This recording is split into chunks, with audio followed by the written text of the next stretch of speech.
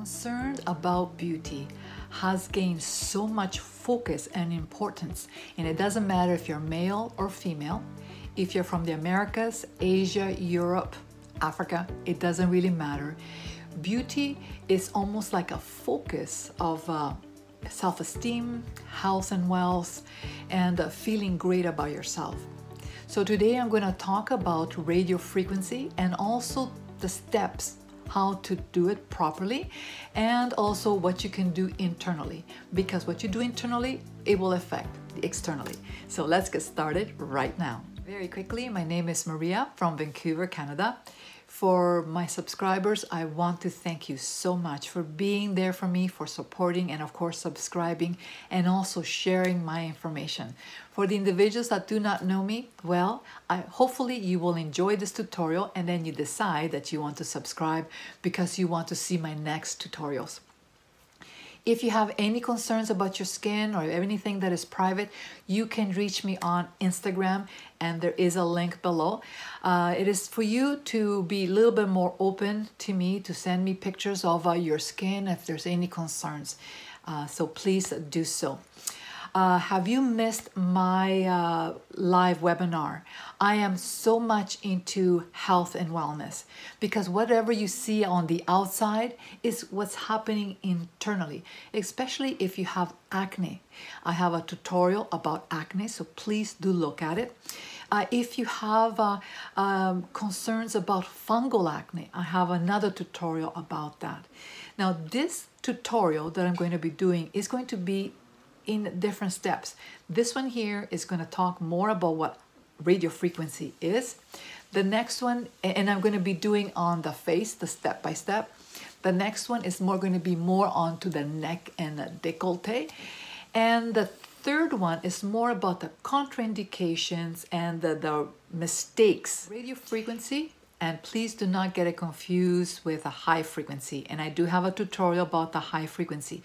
The radio frequency, uh, it is, both of them, however, are uh, alternating currents, and the frequency of the current will cause thermal uh, damage into the skin.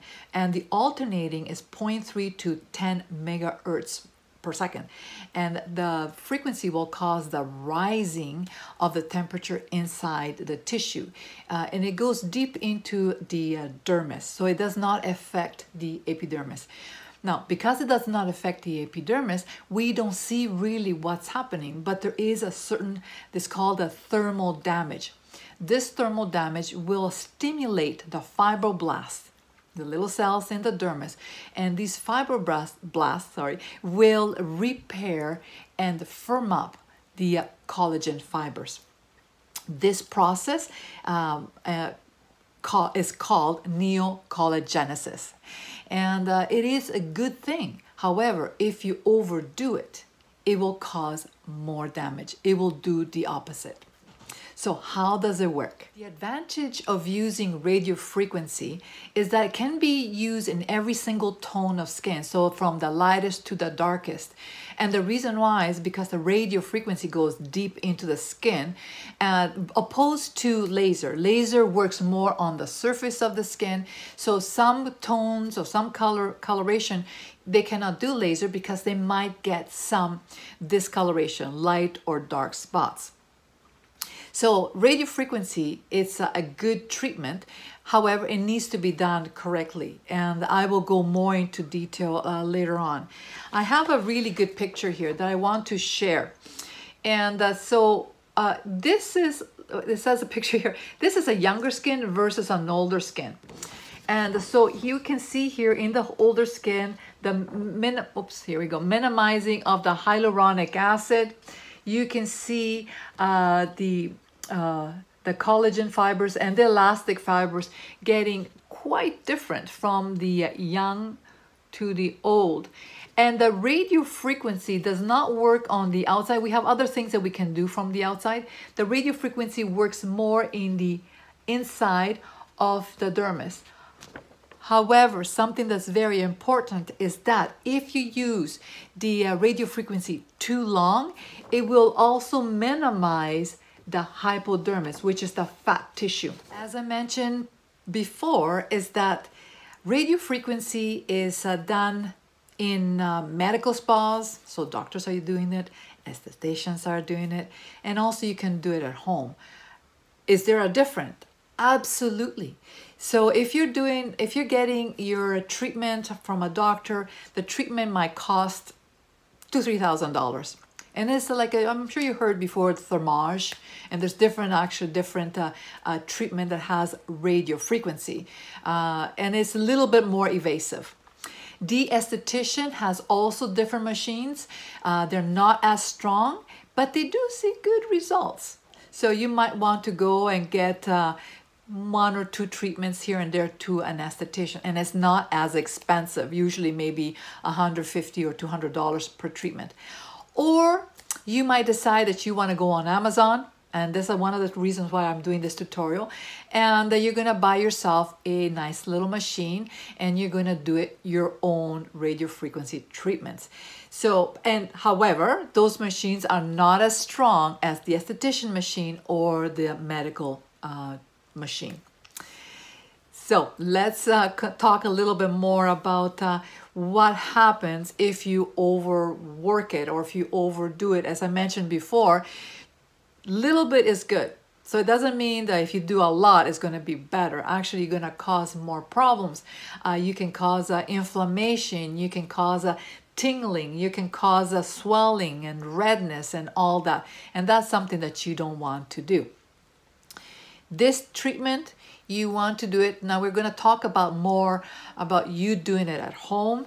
You want to do this no more than once a month okay if you overdo it you are actually causing the opposite why is because uh, you, when you're doing neocollagenesis it means stimulation of the collagen and uh, uh, all the stuff that is inside the dermis you're causing thermal damage and you need to allow the skin to repair itself and when it repairs itself because of the fibroblast it will strengthen and it becomes nice and tight but you need to give it time. So staying under the wand, which is, this is the wand, too long, it will cause problems.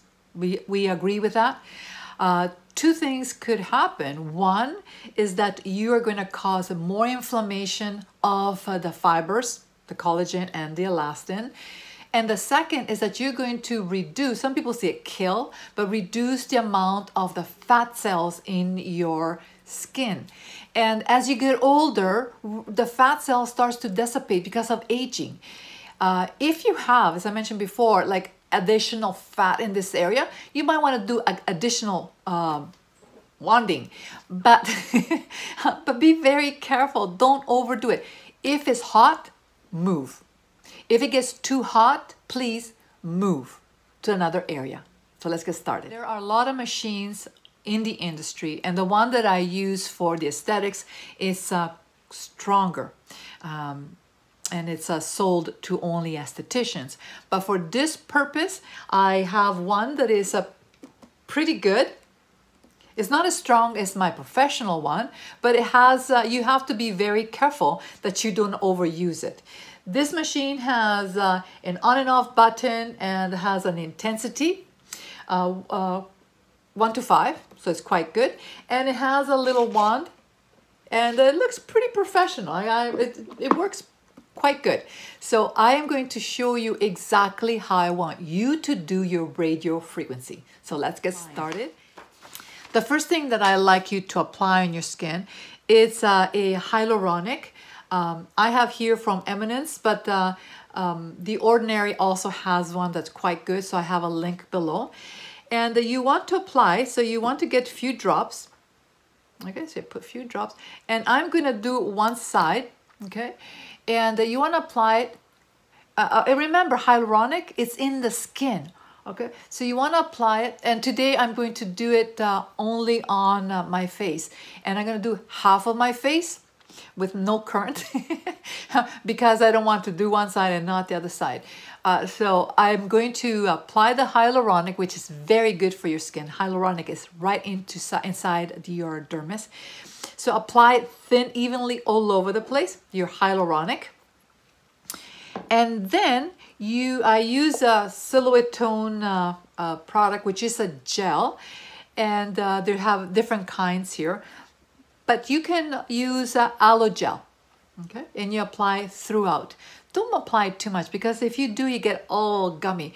Just enough that you can uh, slide and the, the, gel keeps the uh, surface, the surface of the skin, the epidermis, nice and cool. Okay, so once I, I warm this, my tissue up, now I'm going to show you the 12 steps. So whatever I do, so I do this side and of course I do this side. But for time's sake, I'm going to do only one side. So step number one, you want to do the chin. And you can go the other way if you want to. Now, I have no current right now. And the reason why is because I'm doing half of the treatment. And remember, as a reminder, you need to do this no more frequent than once a month or maybe three weeks, every three weeks. You have other treatments that you can do, like the microneedling. Microneedling is also very good. Once you do this and you start feeling warm, not hot, okay? Now you want to go around the lips.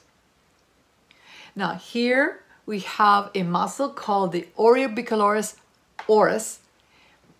And and it can go backwards one way and the other way and remember that this one here is also very good. Feeling hot now. I don't have no current but if you're feeling hot now you go to the next one. So that's movement number two. And I said to you I have 10 of them. The next one that I like you to do is this one like this on the chin and and you want to do it a couple of times. Now I'm just going to do it only uh, just a couple of times. So if you start feeling warm, now you want to kind of stop. Hmm? Okay, the next one that is very good is just right underneath the zygomatic bone, right in here, and you go like this, like that, circle, and like this. Because I want to work also on the marionette lines. You see the lines that go down here? Like this. And as you start feeling, see, I'm going quite slow. And as you start feeling warm, like a nice, nice, nice warmth, now you're going to move to the next step. So what we've done here, around the lips, right in here, and then just below the uh, zygomatic bone. So now, after I did the uh, underneath the zygomatic, I want to do around my eyes. So don't go right on the eyes, right on the orbital bone here, okay? So you go right in here and then lift. Here and then lift, okay? And you want to do it several times until you start getting nice and pink. Pink is good, okay? And I usually say about seven, eight times in the same area. So then you can go the other side or continue to the next one. Okay. Now the next one here is right in here. Continuation of the one around the eyes for the little wrinkles around the eyes. Please don't go over what your eyeball. Don't go there. Okay. And now I continue. Oh, you see, I my my gel starting to dry. So I will get some more gel in a second. Okay, forehead here. Okay, so this one here was from here and on right there, right around the orbital bone here, and then right on top of the eyebrow because you want to have the eyebrow lift. Yes. Mm-hmm. Then you can start going in this area here like this, and you follow through right onto your forehead. Now the part, so this one you can stop here, but now I'm going to concentrate more on the marionette lines, uh, on the wrinkles around the eyes, and the nasolabial fold. And the one that I want to work quite a bit is the masseter muscle right in here, even though it does not really work on the muscle, but the skin is attached onto the muscle. So I really want to work in this area here. So I start Okay, so that means from the jawline all the way up to the zygomatic bone. Yes. And do it uh, in the same area seven, eight, ten times. You have to feel, when you start feeling that's getting pretty warm, then you stop. Okay, now the next one that I really like, that is for the nasal labial fold. And you want to go here and out. From here and out.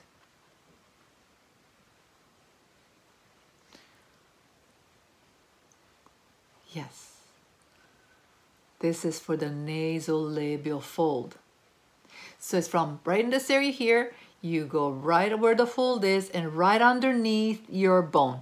And continue that. Okay. Yes. And it's almost like a little bit of lymph drainage. What am I working on right now? The marionette lines.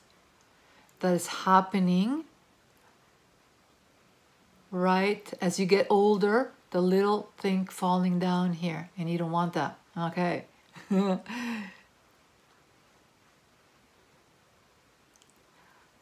and so remember, you can do half the face and then do the other half or just alternate. The next one that I want to work on is around here. Yes, a little bit more. Why? Is because for me, that's my problem area. Well, I'm getting older all over, but this is a mainly problem area for me. Okay, right underneath the eye, but don't go near the eyeball. No. And another area that we all get, this is the last one, is right underneath the chin. And this is actually one that I do quite a bit and then drain. Yes, because it's a little bit lymph drainage too. And that's it. And then we're done. So if you feel that you want to do a little bit more, you can kind of do a little bit more and you can go the other side. I have no gel on this side and you can continue. Now, how long should the treatment take? Both sides with a neck, I would say about half hour, not longer than half hour. Well, I am so excited that I am going to, after, after this tutorial, I am going to pull my hair back and I'm gonna do my treatment because I am so excited about this machine. And I know that it works because I usually do it uh, about every month. And I alternate it with microneedling. And I do have a tutorial on microneedling so go and check it out. So I do this and microneedling and also I have good skincare, the NRF2 and I do have a link below NRF2 rejuvenates the skin from within. So if you do all these treatments, uh, radio frequency, and you do microneedling, and you use the NRF2 skincare, your skin will rejuvenate. So I hope you enjoyed this tutorial. Look for my neck one. okay, look at it because I'm going to create it uh, next week. And uh, do take care of yourself, not only externally, but also internally eat properly. Take care and I look forward in talking with you very, very soon.